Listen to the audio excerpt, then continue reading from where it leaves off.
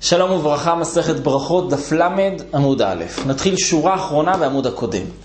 אמר אביי, לעולם לשתף איניש נפשי בהדי ציבורא. תמיד, לעולם ישתף אדם עצמו בתוך הציבור. היכי נעימה, למשל בתפילת הדרך שעליה דיברנו בסוף העמוד הקודם, איך הוא ישתף עצמו בתוך הציבור. יהי רצון מלפניך, השם אלוהינו, שתוליכנו לשלום. למרות שהוא הולך ביחיד, ישתף עצמו עם כל ציבור ההולכים בדרך. למה? כדי שינצל יחד עם הציבור, אומר רש"י שמתוך כך תפילתו נשמעת. אומרת הגמרא, אימת מצלי, מתי צריך להתפלל לתפילת הדרך? אמר רבי יעקב, אמר רב חיסדא, משעה שמהלך בדרך. מאז הוא מחויב בתפילת הדרך. עד כמה, ולפי הפירוש השני של רש"י כאן, עד כמה הכוונה היא, כמה דרך הוא צריך ללכת בשביל להתחייב בתפילת הדרך. אמר רבי יעקב, אמר רב חיסדא, עד פרסה. זאת אומרת, אם הוא הולך אפילו רק פרסה, יגיד תפילת הדרך. פחות מכך, לא יגיד תפילת הדרך. אומרת הגמרא, והיכי מה הצללה, איך הוא צריך להתפלל אותה? רב חיסדא אמר, מעומד. רב ששת אמר, אפילו מהלך. זוהי תפילת הדרך, יכול להגיד אותה אפילו מהלך. רב חיסדא ורב ששת, שהרי חולקים כאן אחד על השני, הבוקעז לי באורחה, הלכו בדרך ביחד. קם רב חיסדא וקמץ לי, נעמד רב חיסדא כפי שיטתו, ואמר את תפילת הדרך והתפלל. אמר לי רב ששת לשמאי, רב ששת היה מאור עיניים, הוא היה עיוור. אז רב ששת שואל את השמע שלו, את שמאי, את עבדו, מהי כאביד רב חיסדא? אמר לי, קאיו מצלי, שאל את העבד שלו, מה עושה רב חיסדא? אמר לו העבד, הוא עומד ומתפלל. אמר לי, אוקמן נמי לדידי, תעמיד אותי גם, תעצור את הליכתי, ותעמיד אותי ואתפלל גם. למה? ואצלי, ואתפלל. מהיות טוב, אל תיקרא רע. הואיל, אומר רש"י, ואני יכול להתפלל מעומד, שהרי חבורתי עומדת, כל מי שהולך איתי עומד, אז גם אני יעמוד ויתפלל, לא יקרא רע, אף על פי שמותר לי להתפלל בהליכה. אומרת הגמרא, מה איכא בין אביננו לתפילה קצרה? למדנו על אביננו, למדנו על תפילה קצרה, שאדם ממש אומר שני משפטים של תפילה, כמו שראינו בעמוד הקודם. מה ההבדל בין תפילה קצרה לבין אביננו? אומרת הגמרא, אביננו באי לצלויי ג' קמייתא וג' בתרייתא. הוא חייב להתפלל שלוש ראשונות, להגיד אביננו שמקצרת את כל הברכות האמצעיות של שמונה עשרה, ואחרי זה להגיד את השלוש ברכות האחרונות. וכמעט לביתי לא בא אלה מהידר ולצלויי. זאת אומרת, כשהוא חוזר לביתו אחרי זה, לא חייב, לא מחויב לחזור ולהתפלל את התפילה המלאה של כל המילים בתפילת שמונה עשרה. לעומת זה, בתפילה קצרה, לא באי לצלויי, לא ג' קמייתא ולא ג' בתרייתא. קודם כל, הוא לא מחויב בשלוש הראשונות ושלוש האחרונות בתפילה קצרה. כמו שראינו, זה במקום שגדודי חיה וליסטים לא שייך. וכי מטה לביתי, באי למעידר לצלוי. אבל כשהוא חוזר לביתו, חייב לחזור ולהתפלל. אומרת הגמרא, והלכתה אביננו מעומד, תפילה קצרה, בין מעומד בין מהלך. באביננו חייב לעמוד ולהתפלל, אבל בתפילה קצרה, בין מעומד בין מהלך. היה רוכב על החמור, כתוב יכוון ליבו או ירד מהחמור. אם לא יכול לרדת, יכוון ליבו, יחזיר פניו ראינו. הוא לא יכול להחזיר פניו, יכוון ליבו כנגד בית קודשי הקודשים. תנו רבנן, היה רוכב על החמור והגיע זמן תפילה. אם יש לו מי שיאחז את חמורו, ירד למטה ויתפלל. ואם לאו, ישב במקומו ויתפלל. לעומת זה רבי אומר, בין כך ובין כך ישב במקומו ויתפלל לפי שאין דעתו מיושבת עליו. אומרת רש"י, למה? אומר רש"י, שקשה עליו עיכוב הדרך. האדם בדרך הוא טרוד, ורבי מבין את זה, ופוסק על פי זה שמותר לו לשבת לכתחילה על החמור ולהתפלל. אמר רבי תימא רבי יהושע בן לוי, הלכה כרבי. תנו רבנן, סומה הוא מי שאינו יכול לכוון את הרוחות, יכוון ליבו כנגד אביו שבשמיים, שנאמר והתפללו אל השם. זה פסוק במלכים, כשאנחנו, כשאדם לא יודע לאן לכוון ולא יודע לכוון את הכיוון ירושלים, או שהוא לא יכול לכוון, יכוון את ליבו כנגד אביו שבשמיים. אומרת הגמרא היה עומד בחו"ל, בחוץ לארץ, יכוון את ליבו כנגד ארץ ישראל, שנאמר והתפללו אליך דרך ארצם, שוב בתפילת שלמה במלכים. היה עומד בארץ ישראל, יכוון את ליבו כנגד ירושלים, שנאמר, התפללו אל השם, דרך העיר אשר בחרת. צריך לסדר את כל הפסוקים, כתוב התפללו דרך ארצם, דרך העיר, זה מי שעומד בארץ ישראל. היה עומד בירושלים, יכוון את ליבו כנגד בית המקדש, שנאמר, והתפללו אל הבית הזה. היה עומד בבית המקדש יכוון את ליבו כנגד בית קודשי הקודשים, שנאמר התפללו אל המקום הזה, והמקום זה בית קודשי הקודשים. היה עומד בבית קודשי הקודשים, כהן גדול שנכנס לפני ולפנים, יכוון את ליבו כנגד בית הכפורת. היה עומד מאחורי בית הכפורת, זאת אומרת מאחורי הצד של, אנחנו יודעים שהיה מאחורי בקודש הקודשים היה אפשר ללכת שם, כי היה עומד כנגד בית הכפורת, היה עומד אחורי בית הכפורת, יראה עצמו כאילו לפני הכפורת. היה עומד, כן, במערב האזהרה, רש"י כאן, כדאי לראות אותו, אה, הוא מסביר כאן את התיאור הפיזי שהיה שם. במערב האזהרה היו י"א אמה, והיה אפשר ללכת שם, והעומד שם מחזיר פניו לכיוון מזרח. אם קודש הקודשים נמצא הרי במערב, אז מי שעומד מאחוריו צריך לכוון את פניו לכיוון מזרח, כדי שפניו יהיו מכוונות כנגד בית הכפורת.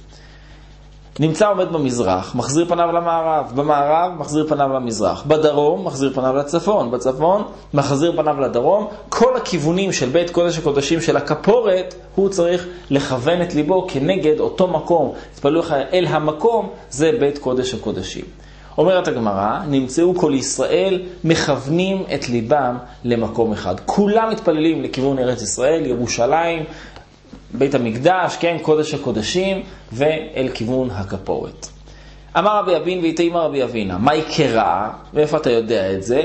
כמגדל דוד צווארך בנוי לתלפיות. זה שכולם מכוונים למקום אחד, איך זה משמע מהפסוק הזה?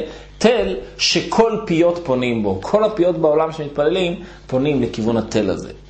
אבוה דשמואל ולוי, כי הבו באו למי פק לאורחה, היו צריכים לצאת מאוד מוקדם לדרך, אביו של שמואל ולוי צריכים לצאת מוקדם, מה עושים? הבו מקדמי ומצלי, היו קודם כל מקדימים ומתפללים, וכי הווה מטה זמן קריאת שמע, קרו, אבל כשהיה מגיע זמן קריאת שמע קוראים, אנחנו יודעים שהדין הוא קודם כל קריאת שמע ואחרי זה תפילה, אבל כשהם יצאו מוקדם בדרך, לא רצו להתפלל בדרך, עוד מעט נראה למה, והיו מתפללים קודם, וכשהיה מגיע זמן קריאת שמע, אז היו אומרים קריאת שמע.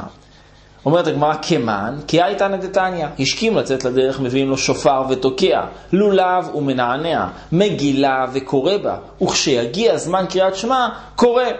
השכים לשב בקרון ובספינה, מתפלל, כמו שאנחנו רואים שאבוה דשמואל ולוי היו עושים, וכשיגיע זמן קריאת שמע, קורא. כך הם נהגו.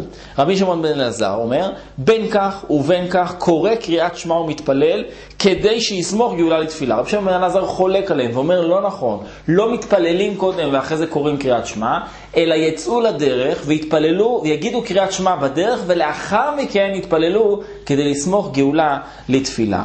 אומרת הגמרא במאי, כמפלגי, במה הם חולקים? אומרת הגמרא, מה סבר תפילה מעומד עדיף?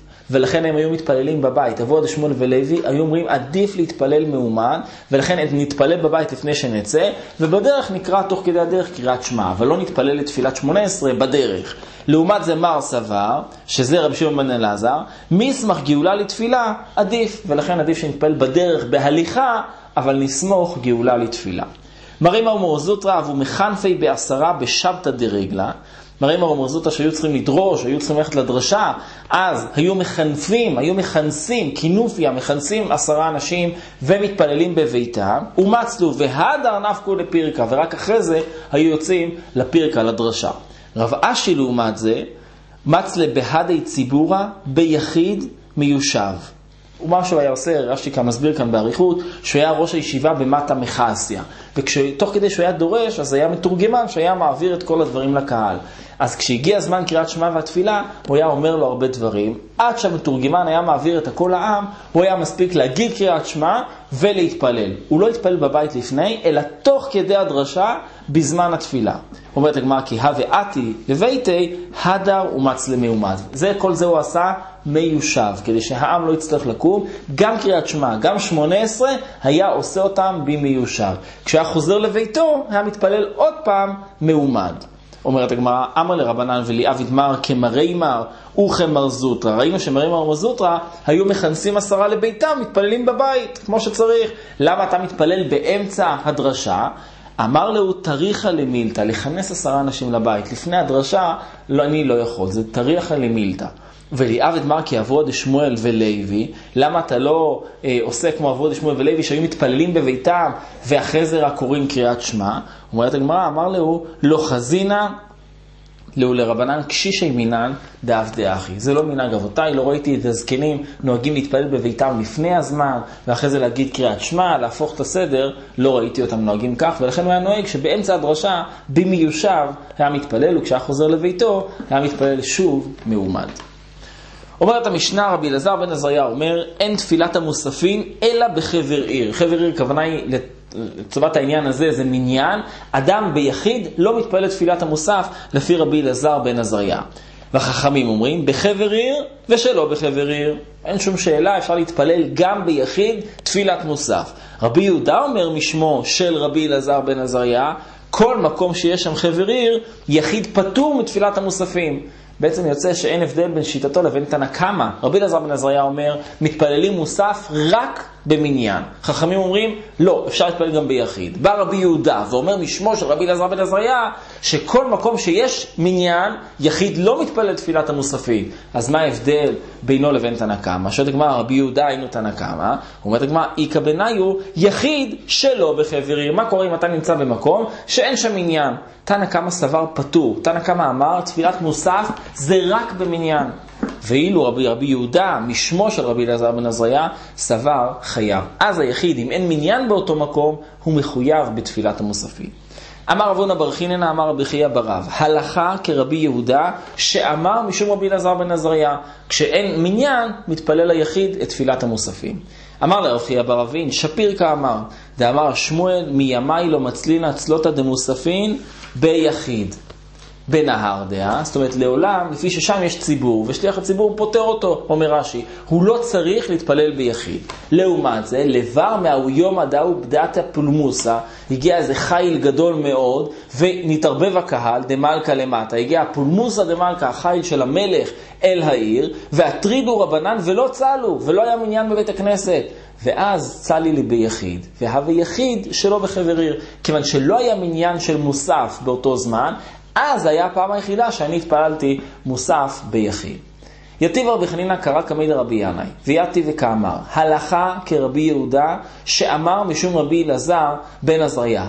אמר לרבי ינאי לרבי חנינא, אמר לי, פוק קרא קרייך לברא. אתה תגיד את הדברים האלה בחוץ, אני לא רוצה לשמוע אותם. למה? דאין הלכה כרבי יהודה, שאמר משום רבי אלעזר בן עזריה. לשיטתו, ההלכה היא לא כזאת, ולכן אמר לו, פוק, תוציא את זה ותגיד את זה בחוץ, לא כאן. אמר רבי יוחנן, אני ראיתי את רבי ינאי דצלי והדר צלי. זאת אומרת, התפלל מוסף, התפלל שחרית, ואחרי זה עוד פעם התפלל מוסף. למה הוא התפלל תפילה שנייה? כנראה שזה מוסף, והוא סימן שהוא התפלל ביחיד. אמר לרבי ירמיה לרבי זעירא, ודילמה מעיקרא לא כיוון דעתי ולבסוף כיוון דעתי. אולי תפילה ראשונה שלו הייתה שחרית, וגם התפילה השנייה הייתה שחרית. למה הוא התפלל פעמיים? כי הוא לא כיוון בפעם הראשונה, צריך לחזור ולהתפלל פעם שנייה. אמר לחזי מן גברא רבא דקמאסיד עלי, תראה מי העיד עליו. מי העיד עליו? העיד עליו רבי יוחנן. רבי יוחנן ודאי לא היה מעיד אם לא היה ברור לו שהתפילה השנייה הייתה מוסף. ולכן זאת הוכחה שרבי ינאי סבר שגם יחיד מתפלל במוסף. אומרת הגמרא, רבי עמי ורבי אסי, אף על גב דהבו לו תלייסר בי כנישתא, כן, ראינו את זה כבר לעיל בדף ח', דאבלו תלייסר בי כנישתא בטבריה, היה להם 13 בתי כנסיות בטבריה, לא הבו מצלו אלא ביני עמודי היכא דאבו גרסה, לא היו מתפללים אלא איפה שהיו לומדים. איתמר, רבי יצחק בר עבדים משום רבינו אמר, הלכה כרבי יהודה, שמע משום רבי אלעזר בן עזריה, שיחיד במקום שאין מניין, מתפלל מוסף. רבי חייא בר אבא צלי והדר צלי. לעומת זה רבי חייא בר אבא התפלל תפילה, ואחרי זה התפלל עוד פעם תפילה. אמר לרבי זריה, מה איתה מעביד מר האחי? אילי מה משום דלא כיוון מר דעתי, הוא שאל אותו למה אתה עושה ככה? אם זה בגלל שלא כיוונת את דעתך, ואמר רבי אלעזר, לעולם ימוד אדם עצמו, אם יכול לכוון את ליבו יתפלל, ואם לאו אל יתפלל. היית צריך להתחיל, לא להתחיל להתפלל בכלל, תמוד את דעתך, אם אתה יכול להתפלל, תתפלל. לא, לא. למה אתה מתפלל פעמיים? אלא דלא איד קרמר דרשייך, אולי לא הזכרת ראש חודש?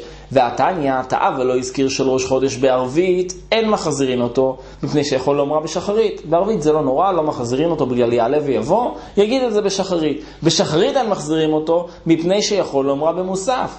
במוספין אין מחזירין אותו, מפני שיכול לומר במנחה. אז למה התפעלת ואחרי זה התפעלת עוד פעם? הרי אם לא אמרת יעלה ויבוא, אתה יכול להגיד את זה בתפילה הבאה. אמר לאליו איתמר, אללה, אמר רבי יוחנן, בציבור שנו.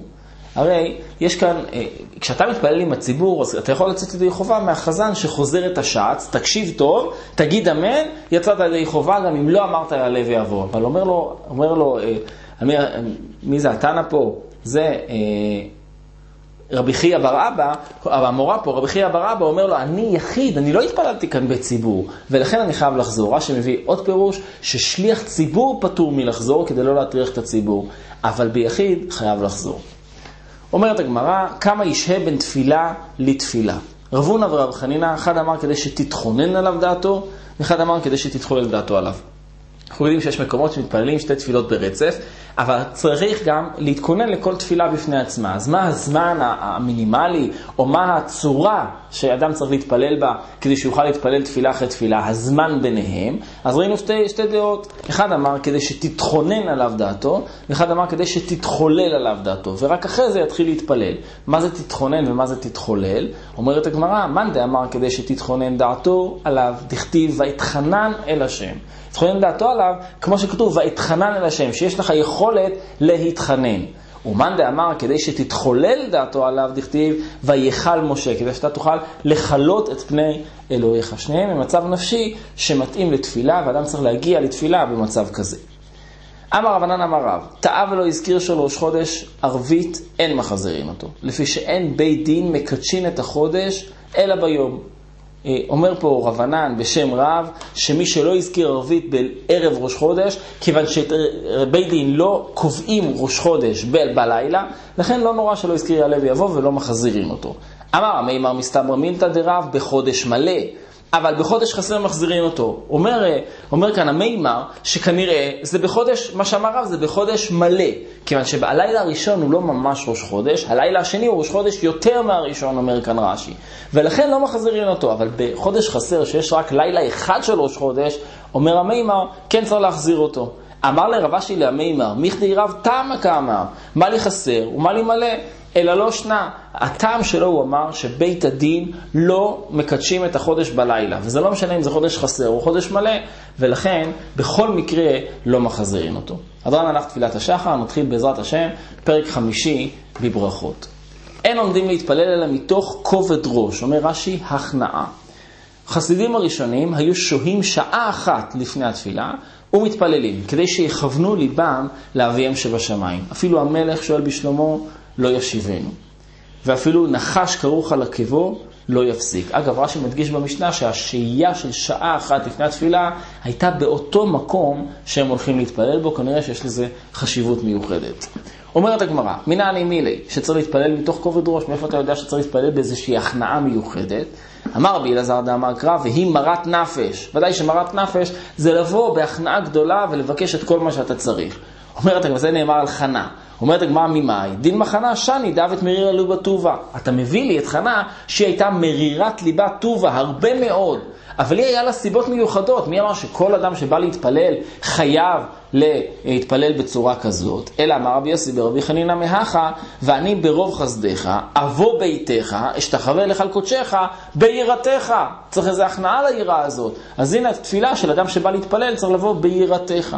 אומרת הגמרא ממאי, גם, לא, גם זאת לא הוכחה. למה? דילמה דוד שני, דאבי מצער נפשי ברחמי טובה. דוד המלך ידוע בבקשות הרחמים, בתהילים, הוא היה מצער את נפשו הרבה.